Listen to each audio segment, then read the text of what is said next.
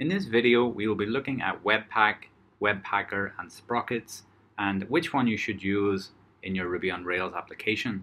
So in Rails 6, Webpacker has become the standard, and it uses a underlying technology called Webpack, which compiles modules or dependencies into static assets. So in this case, we have JavaScript, style sheets, and images, and it outputs them in a static format for our application. So in Ruby on Rails 6, we use the Webpacker gem. So this comes installed by default, and this is used to take the Webpack technology and make it work within Ruby on Rails. So what did we have before we had Webpack? So before we had Webpack, we had Sprockets, and Sprockets basically does the same thing. So Sprockets is a asset packaging system, which means that it takes the assets that we have, compiles them into a static version for us to use in our application. Very much like the Webpack that we are using in Ruby on Rails 6. So we know that both of these technologies are doing the same thing. However, the way that we use them is slightly different. Using Sprockets, we have a manifest.js file, and we'll look at that later in this video. And the method in which we include our files into a compilation file is slightly different also. So we use the require method and we pass the name of the file that we want to require. But there are also options for Sprockets to include the entire directory. So we can require a directory or a link directory and a link tree. And you've probably seen some of these used in Ruby on Rails 5 applications or even Ruby on Rails 4 applications. So the decision by the Ruby on Rails team to adopt Webpack and Webpacker in place of Sprockets has made a lot of people confused about how to set up their code base and how to install dependencies. So this video will be showing you a approach to going back to the old version of Sprockets within your Ruby on Rails 6 application. So in order to demonstrate this video, I'm going to set up a very basic application. So I'm creating a new Ruby on Rails 6 application, and we'll see what files are included in our application and how we can change that to use the old approach of Sprockets. So one thing to point out before we get into this is that I'm not recommending that you use Sprockets instead of Yarn, Webpacker, and Webpack. It is completely fine to use those, and I think it's actually a better idea to adopt the technology rather than stand against it.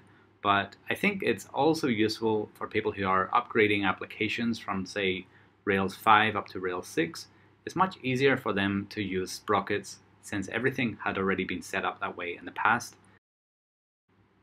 So whether or not you use Webpack or Sprockets is completely up to yourself, but it's good to know how you can switch between the two if you need to do that. So we've got a new application open, and you'll notice that the JavaScripts folder is missing from the assets directory. And that has been moved outside of the assets directory into its own folder. And now we have this packs folder with the application.js inside. So we refer to this application file as a pack, and you'll notice here the code inside is slightly different from how we did it using the sprockets and asset pipeline in Rails 4 and 5. So I'm going to quickly set up our application, and to do that we will set up a route and a method within a controller that points to our homepage.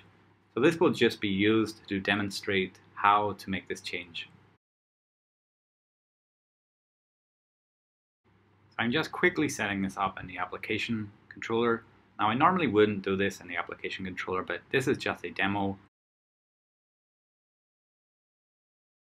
So let's render a view, and this will be within the layouts folder. So if we look now at our application layout, so this is within the views, you'll see the JavaScript pack tag. So this is different than we had in the previous versions of Ruby on Rails. So previously we had a JavaScript include tag, so the pack tag will load the file directly from the JavaScript packs folder and it loads this application.js.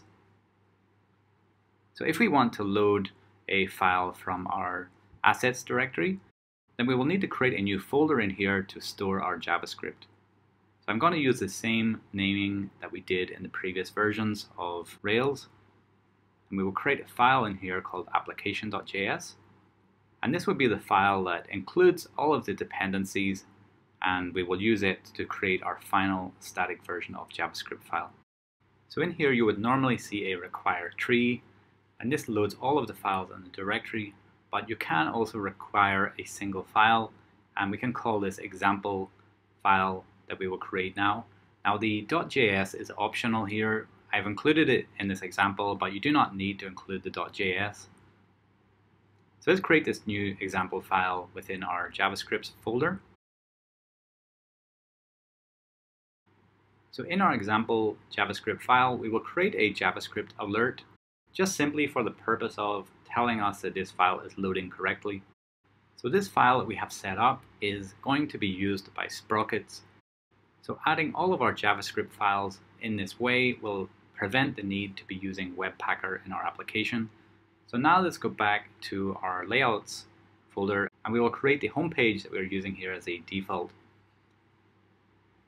so I'll quickly set up our Rails database now, but you could in fact modify the database config file to not need a database, but I'm simply just doing this to keep things moving. So our database is set up, and it's still giving me this message about Rails DB migrate, so I'll run that command again, because I'm not sure if it worked or not. And we'll open up our application now, so let's start the Rails server and then we will open this up in the browser. So our homepage is loading in the browser. So back in our application layout file now, let's change the JavaScript tag. So currently it is JavaScript pack tag, but you'll notice here the style sheet link tag, it pulls from the style sheets folder in the assets directory. We can do the same thing with the JavaScript using the JavaScript include tag. So the include tag will pull it from this folder. And we have one thing that we forgot to do here, which was to modify the manifest file in our assets config folder. So let's do that now. Let's go to assets config manifest.js and you will see here that we have the images and the style sheets.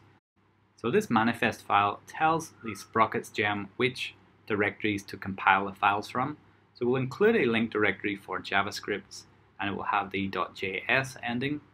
So now once we restart the server and reload the page, we will see that our JavaScript file is now working. So we've got this JavaScript alert. So using the manifest file, adding the directory under assets and changing the tag within the application view, that allows us to include the JavaScript using our sprockets like we did in the previous versions of Rails. So that's going to do it for this video. Hopefully you guys have found this helpful. And if you haven't already, make sure to subscribe to the channel and like this video. And if you want to learn more about Ruby on Rails and the Ruby language, check out my website using the link in the description below. So other than that, have a great day ahead and I will see you all in the next video.